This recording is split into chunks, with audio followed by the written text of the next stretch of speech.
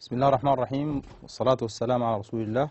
آه الإخوة والأخوات طالبات وطلاب آه مقرر بحوث الأعمال. السلام عليكم ورحمة الله تعالى وبركاته. اليوم إن شاء الله هتكلم عن بقية الخطوات ال- أو الخطوتان الرابعة والخامسة فيما يتعلق بخطوات البحث آه التي بدأناها في المحاضرة ال- السابقة. وده طبعا آه، يعني مزيد من التفصيل في في في في الجزئية دي يمكن ترجع الكتاب اللي هو صفحة آه، 135 ل 168 طيب آه، حنتناول إن شاء الله اليوم اللي هو ال- ال- الكلام عن الإطار النظري. ده جزء مهم جدا من الخطوات الأساسية بعد ما خلصنا المراحل الأولى من تحديد مشكلة وجمع بيانات مبدئية وكده. ونفس الشيء حن- حنتناول الحديث آه، بالتفصيل عن المتغيرات اللي هي في أنواع من المتغيرات حنتعلمها. سواء كان متغير ثابت أو متغير آه، يعني بسيط أو وما إلى ذلك. آه، نفس الشيء من الأشياء المهمة جدا المفروض نتعلمها ونعرفها اللي هي تنمية الفروض اللي هي أو development of hypothesis اللي هي التنمية اللي هي صياغة الفروض العلمية. وبالتالي الهدف الأساسي للمحاضرة هو آه، يعني إلمام الطالب بالإطار النظري وأهميته. ووصف المتغيرات وأنواع وتبيين آه، أهمية. بالأمثلة نأخذ أمثلة على هذه الأشياء حسب ما موجود في الكتاب. آه، وتنمية الفروض العلمية حتى يستطيع الطالب إنه شنو؟ آه، يبني البحث العلمي بطريقة جيدة. طيب المرة اللي فاتت إحنا قلنا ال- ال- الخطوات الثلاثة الأولى اللي هي الملاحظة وجمع المبدئي البيانات بالإضافة لتعريف المشكلة. بعد ذاك حنجي اللي هي الجزئية الرابعة والخامسة اللي هي بناء الإطار النظري وتحديد المتغيرات اللي إحنا ذكرناها واستنباط الفروض الخاصة بالدراسة. آه، في ليتر حنجي ناخذ اللي هي بقية ال ال ال ال هذه الخطوات. طيب. ال- المراحل ال- ال- ذكرناها طبعا المرحلة ال- الأساسية في فيما يتعلق بهذه هذه الجزئية اللي هي بعد أن أن يقوم الباحث أو المدير بتعريف المشكلة وجمع المعلومات الأساسية والبيانات الأولية عن المشكلة. وتأكد من ملاحظته لهذه المتغيرات يبدأ في تحديد الإطار النظري ومعرفة المتغيرات المفروض يقوم بها في الدراسة وتنمية فروض آه، علمية.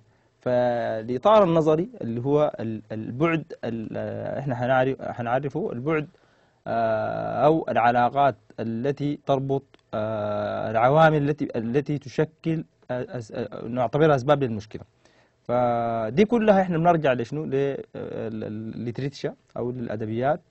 آه، حتى يعني يمكن تقرأ في مثلا على سبيل المثال أسباب آه، زيادة الإنتاجية أو أسباب تدني الإنتاجية. فبتجد مجموعة من الأطر النظرية آه، في ذكروا مجموعة من الأسباب على ضوء ربما أنت تكون كونت إطار محدد عشان تغطيه تغطية نظرية. مثلا تقول ما المقصود بالإنتاج وما المقصود بأسباب تدني الإنتاج وما هي أسباب تدني الإنتاج حسب ما تم ذكرها ولأنه كلها بيتم توثيقها آه، إذا أنت عايز تكتب ورقة علمية.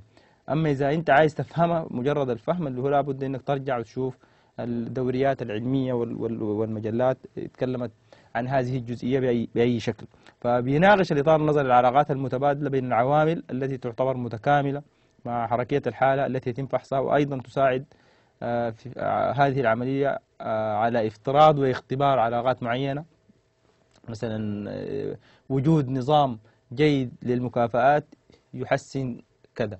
وجود نظام غير جيد يعني إحنا نشوف هذه العلاقات ونوضحها ونفهمها وبالتالي شكلها بيكون في ذهنك آه، يعني مثلا هذا يؤدي إلى هذا هذا يقلل من هذا وهذا يزيد من هذا فتبدأ آه، الحالة تتشكل. إذا الإطار النظري عبارة عن نموذج آه، ذهني آه، يعني وخارطة آه، بتبين كيفية تقنين العلاقات التي تربط بين عدة عوامل اللي إحنا حنا- حنعرفها وفي النهاية اللي هي حسب ما يراه الباحث إنه هذه العوامل هي التي أدت أو أو أو تسببت في هذه المشكلة.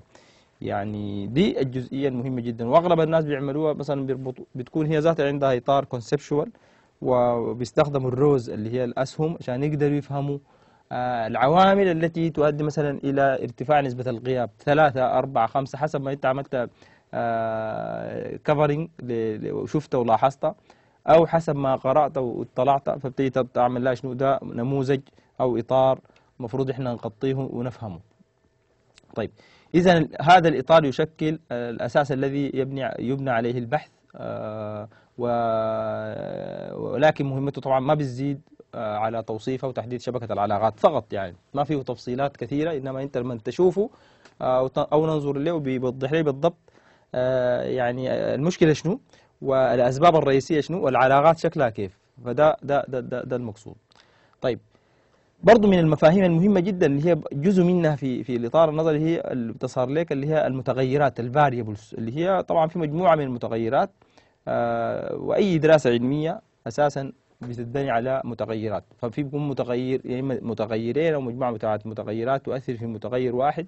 حنجي نفصل ونعرف آه ما المقصود بالمتغير وما هي أنواع المتغيرات وناخذ أمثلة آه على هذه الأشياء. طيب المتغير هو أي شيء يمكن أن تكون له قيم مختلفة. يعني إحنا بنجي ننزل بعدين أو ندخل في البرنامج ال SPSS آه، بيكون عنده فاليو عنده قيم. فمثلا الإنتاج آه، والرواتب. فبتدخل مثلا مدخلاتك كلها الرواتب كانت كذا الإنتاج كذا الرواتب كانت كذا فهي بندخلها كمتغيرات متتالية. عشان نجي نعرف هل الرواتب لما تتغير الإنتاج بيتغير ما حاقدر أفتي فيها وأعرفها أنا كباحث إلا إذا دخلتها كقيم عرفتها في في في ال SPSS ودخلت قيم الإنتاج بافتراض إنه 10 سنوات. وجيت عملت شنو بعد ذاك الدراسة ال analysis التحليل. later حنتكلم عنه بالتفصيل. فمثلا آه، وحدات الإنتاج معدل الغياب الحوافز مستوى الرضا آه، مستويات إصابات العمل مستويات آه، مثلا التأخر عن العمل آه، نسب مرفوضات أو مردودات المبيعات نسب اللي ههي الوحدات المعيبة اللي بتكون تنتج 100 وحدة. لكن المعيب منها مثلا 5% ده طبعا عنده علاقة برضه بال total quality management أو إدارة الجودة الشاملة. فأنت لو بتنظم أو بتطبق أنظمة الجودة الشاملة على سبيل المثال بنقدر نتحكم تحكمات زي ما اليابانيين عندهم ال Six Sigma اللي هي في تويوتا. فمثلا في كل 1000 وحدة يعني هم بيضعوا إنه 999 بوينت 95 يعني ده احتمال ضعيف جدا إنه يكون في منتج يطلع آه، ويرجع لأنه فيه مشكلة سيء أو فيه إشكالية. على الرغم إنه في الواقع العملي إحنا قلنا الكلام ده ما ما موجود بدليل آه، يمكن في بعض الشركات حتى تويوتا اللي هي تبنت الجودة إدارة الجودة الشاملة عندها recalling اللي هو استدعاء.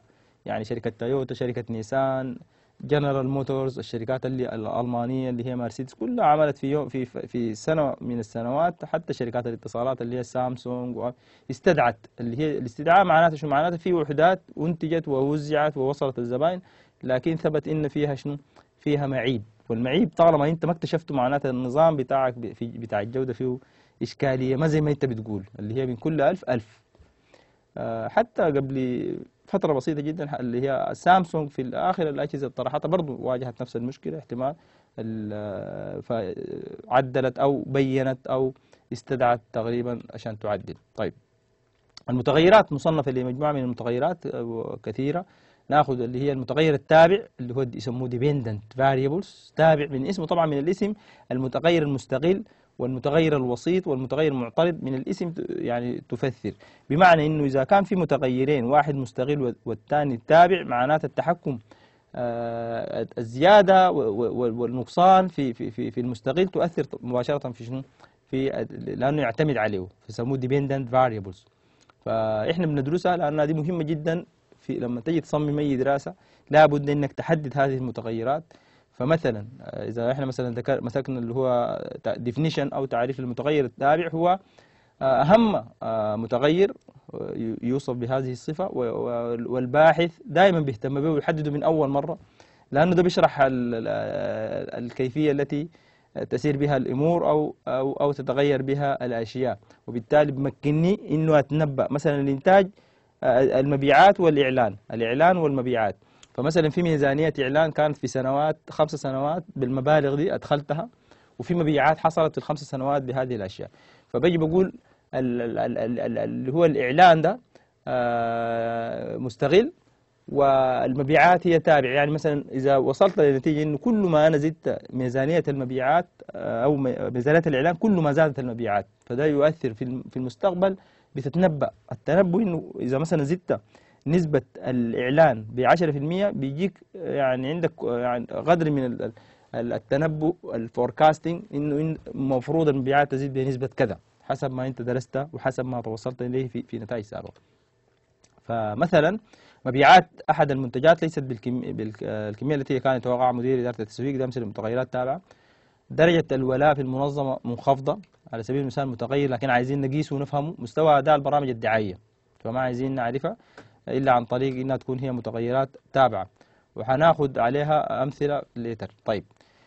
المتغير المستقل هو المتغير له الذي لديه تأثير إيجابي أو سلبي على المتغير آه، التابع.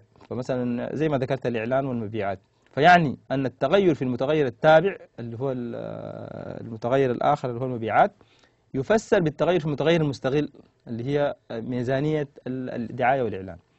فمثلا المتغير المستغل يجب أن يخضع للرغابة من طرف الباحث لأنه ده المستغل ده أنت بتاخذ عليه موافقات وبتاخذ عليه ابروفل من من مجلس الإدارة إنك أنت عايز تزيد آه، نسبة آه، ميزانية الإعلام من كذا إلى كذا بنسبة 5% فإذا لك المبررات شنو؟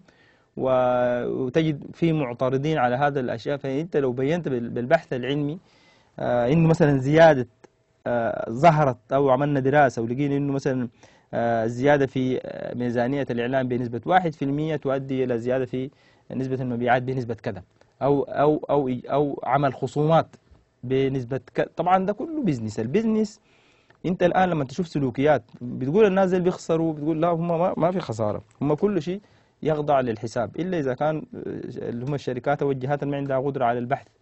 فمثلا تعمل خصم ممكن تعمل خصم 1% وكله total اللي هو في الشهر ما بيساوي لك آه، خمسين ألف ريال لكن مبيعاتك تزيد بنسبة كذا. فده ده المقصود. فبتجد انه الفرق بين الاثنين دائما بيكون ربح بالنسبة لك أنت وليست خسارة. فالمتغير المستقل يجب أن يخضع للرغابة بيسموها control من طرف الباحث حتى يمكن التأكد من دراسته وفهم آه، سلوكياته والتأثير آه، فيه في المستقبل. طيب. مثال مثلا قلنا آه، للنجاح على سبيل المثال تنمية المنتجات الجديدة اللي هي ال product development عندك منتجات جديدة عايز تطلعها وتطلع منتجات جديدة.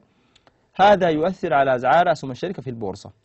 فإذا تكلمنا عن يعني كل ما زاد المنتجات الجديدة التي تم تنميتها كل ما أسهم الأسعار بتاعت الأسهم في البورصة أو في أسواق الأسهم بتزيد. فنجي نقول مثلا الجزء الأول هو المنتجات الجديدة هي متغير مستقل والمتغير التابع اللي هو بيتأثر بناء على هذه ال decisions اللي هي أنت عندك عليها control هو آه، اسعار أسهم الشركات. آه، مثال تالي أشارت البحوث التي تتم في بيئات ثقافية متعددة إلى أن للقيم التي يعتقدها المديرين أو المدراء تأثير قوي على مقدار المسافة التي يفرضها المديرين على علاقاتهم بالمرؤوسين. أثناء التعامل معهم فنجي نقول مثلا آه القيم الإدارية اللي هي أساسا جزء من سياسات الشركة وجزء من سياسات الإدارة وجزء من القيم الخاصة بالمؤسسة آه عندها تأثير على شنو؟ على التفاوت كل ما كانت هذه القيم آه يعني قيم مفهومة وقيم بناءة وكذا بتقرب المسافة بين شنو؟ بين المرؤوس والرئيس. وكل ما كانت هي ما في قيم وقيم يعني آه، صياغتها نفسها فيها إشكاليات كل ما زادت شنو؟ هو بين الطرفين اللي هم الرئيس والمرؤوس. فدي من باب الأمثلة. وحتى إحنا مثلا في صياغتنا في عشان تفهموا يعني آه، يعني ممكن نزل الأزلة دائما بتكون مثلا إذا يمكن يزالوك في أزلة مغالية إحنا ما عندنا أزلة مغالية لكن مثلا آه، عرف المتغير التابع المتغير المستقل كده لكن إحنا في في التطبيق لأنه عندنا الاسئله ثلاثة أنواع. في اسئله سهلة جدا واللي بتكون ما عليك الا تعريف. اللي هو يجيك تعريف وهو شنو؟ دي ما فيها مشكلة. في اسئله وسط يعني بتكون في الليفل بتاع المتوسط اللي هي خلطة بين آه، زي مثلا يقول لك عند المقارنة بين آه، مفهوم المتغير المستقل والمتغير التابع نلاحظ أن المتغير المستقل هذه محتاجة شنو؟ فهم. تفهمها. الجزء الثالث اللي هو دائما برضه من من من التصميم اللي بيحصل في الازله اللي هو الأبلكيشن التطبيق. فنقول مثلا في قامت إحدى الشركات السعودية بإجراء دراسة علمية بعنوان. يعني أنت من العنوان المطلوب منك زي المثال ده تحدد المتغير المستقل هو شنو والمتغير التابع هو شنو. وبالتالي تكون تطبيقيا فاهم وليست آه، حافظ الحفظ مرحلة آه، lower آه، أدنى مستوى. وفي مرحلة بتاعت ال connect تربط الحاجات مع بعضها البعض وفي النهاية برضو آه، أعلى المستويات اللي هي بتتعامل مع الجزء الخاص بالإدراك. طيب أو التطبيق. آه، مثلا مثال ثالث اللي هو يؤدي التدريب الجيد للعاملين لتحسين مستوى الأداء آه، لديهم. فبنقول التدريب الجيد للعاملين اللي هي ال training programs كلها متغيرات مستقلة ومتغير مستقل. ومستوى أداء العاملين هو متغير آه، تابع. فمثلا أنت إذا عندك ال data عملت Excel sheet جيت نزلت آه، عدد البرامج التدريبية في السنة كذا. كان مثلا سنة 1436 كان خمسة برامج وصنفت إنها كلها جيدة. سنة 1437 كان كذا. عملت آه، data آه، أو ميزانيته أخذت الميزانية. مثلا أنفقت على التدريب الجيد آه، في سنة 1436 مبلغ كده في سنة 1437 مبلغ كده نزلتها في في ال Excel وجيت نزلت آه، أداء الانتاج اللي هو الإنتاجية بتاعت سنة 1436 كانت كم؟ وسنه 1437 كانت كم؟ لسنوات. وكلها مشت في ال في ال SPSS اللي هو البرنامج ال- للتحليل الإحصائي عشان نشوف آه، العلاقة شنو شكلها شنو. هل فعلا التدريب الجيد زاد الإنتاج ولا ما زاد وأثر فيه ولا ما أثر فيه؟ لأنه ده إحنا افترضنا افتراضه وعملنا. آه، أشياء لكن عايزين نعرف الكيس حقنا إحنا في الشركة. فبنصل بعد ذاك لشنو؟ لمدى التأثير اللي هو العلاقة بين المتغير المستقل والمتغير الثابت. في متغير آخر اللي هو المتغير الوسيط وده بفسر أو بيشرح العلاقة بين المتغيرات التابعة والمستقلة. يعني ربما يكون زي ما أنت بتقول مثلا آه، يؤدي التدريب الجيد للعاملين آه، لتحسين مستوى الأداء لديهم. ممكن نقول آه، يؤدي التدريب الجيد للعاملين ال- اللي هم العمال الجدد على سبيل المثال آه، لتحسين مستوى أداء معناتها أنا ما محتاج لكل العاملين وليس التدريب الجيد يؤدي إلى زيادة الإنتاج لكل العاملين لكن آه، في متغير صغير دخل في النص عشان يوضح لي هم المقصود بهم هم ال- ال- الموظفين الجدد والعمال الجدد باعتبار منهم عشان يفسر ويشرح هذه ال- ال- العلاقة. فهو متغير يعرف إنه متغير شرطي آه، متغير له تأثير غير غير غير شرطي أو غير متوقع آه، على علاقة المتغير التابع بالمستقل لكن لا. لا نشترط ذلك وبالتالي فظهوره ربما يظهر طبعا يؤدي إلى تعديل العلاقة المتوقعة آه، في أصل عشان كده أنت لو لو أنت صيغت عنوان الدراسة بوجود متغيرين ظاهرين ما بتكون في مشكلة زي ال- ال- العنوان الأصلي ده لكن لو لو عملتها معقدة اللي هي دخلت فيها دائما الدراسات اللي بيكون فيها متوسط أو وسيط معناتها فيها شوية كومبليكيشن لأنك أنت محتاج أول حاجة تثبت إنه في علاقة بين المتغير اللي هو المستقل والوسيط وبعد ذاك تجي تشوف تأثير الوسيط على شنو؟ على التابع وننظر للأشياء بمفهوم آه، علاقات. طيب مثال اللي هو بنقول مثلا تم اكتشاف علاقة بين توفر أدلة الاستخدام اللي هي آه، آه، الكتيبات اللي بت- بتوزع لل- للناس اللي بيشتروا الأجهزة الكهربائية والأجهزة فبيدوك دليل. في بعض الشركات ما عندها أدلة. ففي على سبيل المثال علاقة بين توفر أدلة الاستخدام مع المنتجات التي تصنعها إحدى الشركات وبين رفض المنتجات عندنا مشكلة بتاعت آه، اللي هي ذكرتها الريجكشن أو المنتجات المرت- المرتجعات فمثلا نفترض إنه في اكتشفوا إنه إذا إذا الكاستمر بياخذ المنتج وفيه دليل بيمشي يستخدمه ويطبقه وما حيرجع للشركة لو ما معه دليل ما حيعرف يشغله حيرجعه. فلو جينا نتكلم عن ال- ال- ال- العلاقات دي بنجد مثلا توفر الأدلة معناتها هي متغير مستغل. وعدد المنتجات المر- المرفوضة أو ال- ال- المرتجعة يسمى متغير تابع. ظهر اللي هو آه، المتغير الوسيط اللي هو اهتمام العامل آه، لوسيلة استخدام دليل التشغيل اللي هو الجزئية الخاصة بأدلة الاستخدام. ف يعني معناتها إنت إذا شركة عايز تعمل دراسة فيها المتغيرات مستقلة ومتغيرات تابعة ومتغير وسيط من الصياغة نفسها اللي هي صياغة عنوان الدراسة بتبين لك عشان كده أنت بتكون فاهم في تفسيرك للدراسة حتيجي بعدين تعمل testing للأشياء وتجي توضحها بال- بال arrows بالأسهم اللي هي اللي هي بتكون ظاهرة. إنه توفر أدلة الاستخدام يؤثر على عدد المنتجات المرفوضة باستصحاب متغير مهم جدا اللي هو اهتمام العامل آه، أو وسيلة استخدام أدلة التشغيل. آه، مثال آخر اللي هو آه، بالشيع الآن نظرية أن قوة العمل المتنوعة اللي هي ال diversity التنوع في العمل معناتها diversity of workforce. آه، ثقافيا تساهم أكثر في الارتقاء بفاعلية المنظمات. دي دراسات كثيرة أثبتت, أثبتت هذا الكلام. لأن كل جماعة من الجماعات ستجلب معها خبراتها وثقافاتها وقيمها إلى مكان العمل. وبالتالي الاستفادة منها إذا توفرت لدى المديرين القدرة على الاستفادة من هذا التنوع. طبعا إحنا واحدة من التحديات إنك كيف تدير هذا التنوع؟ آه، إدارة التنوع نفسه محتاجة لنوع من المعرفة وكذا عشان تستفيد منه. ممكن يكون عندك تنوع لكن ما تم إدارته بالطريقة الصحيحة. ده ما موضوع. الموضوع بتاعنا إنه عايزين نحدد المتغير المستقل وهو قوة العمل المتنوعة. كل ما زاد مثلا كان التنوع عندك كان 10% بقى 20% بقى 60% كنسب مثلا وفي نفس الوقت عندك الإنتاجية أو الربحية بتاعتك كانت كذا كذا كذا كذا. عشان نشوف هل هذا عنده علاقة بالربح وعنده علاقة بالإنتاج وعنده اللي هي فاعلية المنظمة. فالمتغير الوسيط اللي هو حسب العنوان اللي هي المهارات الإدارية. إحنا قلنا شنو؟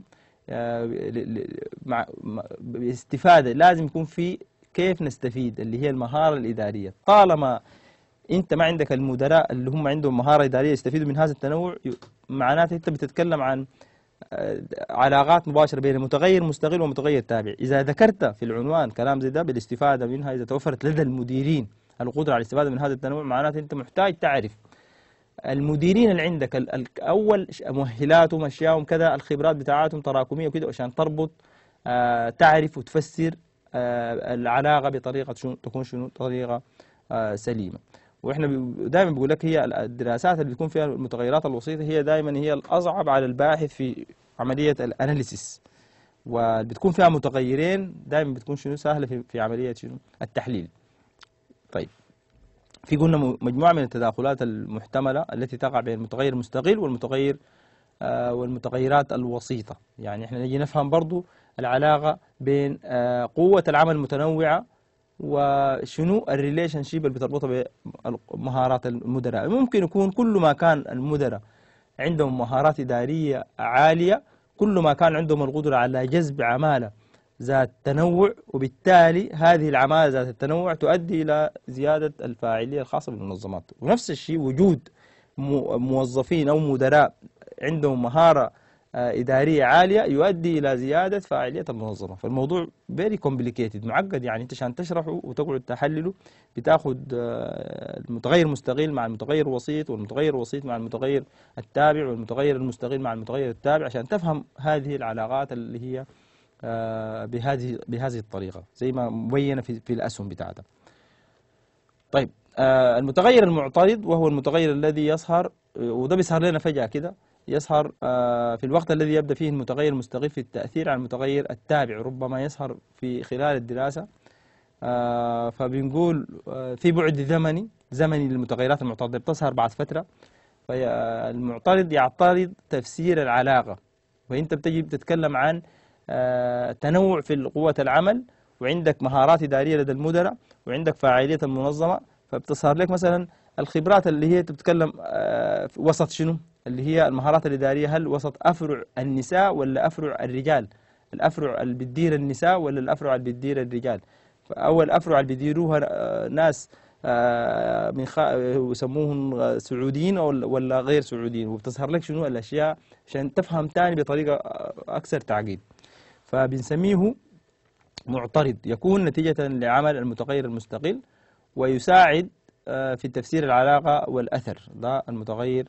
المثال له إنه آه، على سبيل المثال في الكلام اللي حنقوله اللي هو إن التنويع في قنوات توزيع المنتجات بتوزع عن طريق آه، أسواق التجزئه بتوزع عن طريق البقالات بتوزع عن طريق سيارات متحركة بتوزع عن طريق معارض بتوزع عن طريق آه، جهات بتدي عينات في الجامعات وفي المدارس وكذا ده من شأنه إنه يساهم في دعم ولاء الزبائن فنجي عشان نفهمها التنويع في قنوات التوزيع مستقل واضح.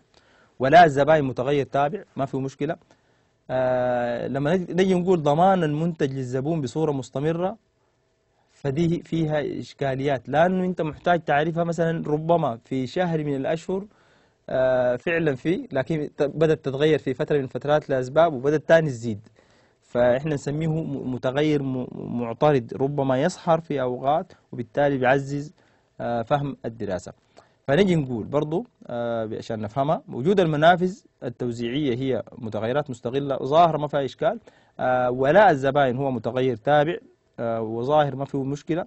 عندنا متغير وسيط مستقل اللي هي على سبيل المثال آه، لو تكلمنا عن المعترض طبعا هو ضمان المنتج بصفة مستمرة. آه، لكن آه، في مثلا الخبرة التسويقية المكافآت مستويات الخبرة مستويات التعلم مستويات المؤهل الخاص بالأشخاص اللي بيمارسوا هذه العمل التوزيعي والترويجي. فدي كلها تعتبر شنو؟ من الأشياء التي تعترض تفسير أو آه، مفروض نفهمها لأنها آه، يعني اعترضت آه، سير هذه العلاقة. طيب.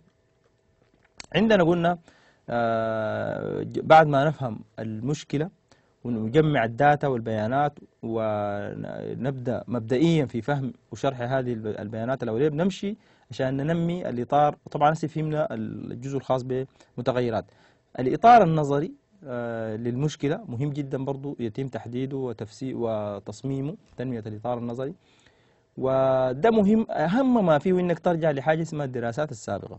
اللي هي مهمة لأنك أنت حتى بتوثقها كمراجع لأنه إذا كان الموضوع تم مناقشته من قبل آخرين يعني في باحثين سبقوك في هذا المجال بيسهل عليك أشياء كثيرة جدا. فمثلا الدراسات آه، اللي هي السابقة بتمكن آه، اللي هو الباحث في أنه يأخذ تصور أدبي أو نظري عن المشكلة وتنمية اللي هي الفروض التي تم تنميتها والعلاقات الخاصة بشنو بين متغيرات الدراسة. يعني لو رجعت لبحث واحد تستطيع أنك تضع شنو الأشياء كلها في ذهنك زي ما ذكرت نظريا.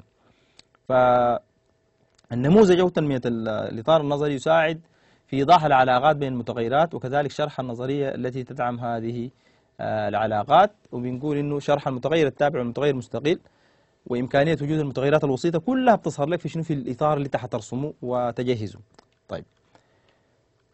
آه في في خصائص مهمة جدا برضو من الأشياء المفروض نعرف الخصائص الخمسة للإطار النظري الجيد يعني.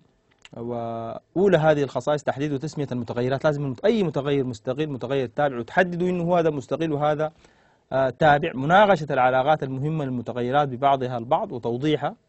تحديد آه طبيعة العلاقة إيجابية أو سلبية. بعض الباحثين بيضعوا على مع الأسهم مثلا بين قوسين سالب موجب. يعني هذه ده متغير آه مستقل وهذا متغير تابع لكن المتغير ده بيزيد تأثيره إيجابي وهذا سلبي وهذا إيجابي. دي برضو مهمة جدا. أن يكون هناك شرح ناريشن شوية يعني آه، واضح لأسباب توقع هذه المشكلات. أن ينبغي أن يكون هناك رسم توضيح لإطار نظري يعني لو ما رسمته وبينته بالأسهم برضو بتكون آه، الموضوع فيه أنبيج غموض غموض. ما عايزين نكون غامضين. آه، جزئية مهمة جدا اللي هي تنمية الافتراضات والفروض اللي هي إنك بتفترضها بناء على قراءاتك ودراساتك السابقة وفهمك للمشكلة. الفروض هي علاقة بين متغيرين أو أكثر وبتكون دائما مصاغة بطريقة يمكن قياسها. مثلا نقول زيادة الإعلان تؤدي إلى زيادة كذا. أو زيادة آه، أو آه، مزيد من الخصم لدى الزبائن يؤدي إلى زيادة المبيعات بنسبة أعلى من نسب الخصم. افتراض. وبالتالي هي تخمين. ومحتاج عشان تجيب عليها وتثبتها تقوم بمجموعة من الخطوات. طيب شروط إن لابد إنها تكون شنو؟ قابلة للاختبار يمكن اختبارها. بسيطة مكتوبة بطريقة سهلة جدا. آه، مفهومة منطقية. بس very simple يعني مثلا نقول زيادة رواتب الموظفين تؤدي إلى زيادة درجة الولاء. ممكن ممكن yes وممكن no ممكن محتاجة لشنو؟ لاختبار. فإحنا لازم تكون هي تم صياغتها يمكن قياسها يمكن آه، فهمها وتكون هي logical منطقية. طيب مثلا إذا حصل الطيار على تدريب كافي الطيارين وكذا لمواجهة حالات الازدحام الجوي فإن مخالفات تعليمات الأمن الجوي ستنخفض بدا آه، فرضية قابلة للاختبار. إحصائيا وده حناخده برضه في التفصيل في المحاضرات القادمة الباحثون في العلوم الإدارية بيفترضوا آه، أو بيقولوا إنه الفرض آه، يقبل إذا تحقق بالصدفة في 95% من الحالات يعني نسبة الرفض أو الخطأ تكون 5% اللي هي دائما نسب الثقة آه، في البحوث آه، المفروض تجرى أو يتم إجراء. طيب أشكال الفروض عندنا الجملة الشرطية يعني تكون هي جملة إذا إذا. إذا الجملة الشرطية دائما بتكون هي مربوطة بجملة شرط. مثلا إذا أنجز العاملون مهامهم فإنهم سيحصلون على مكافآتهم. ده شرط.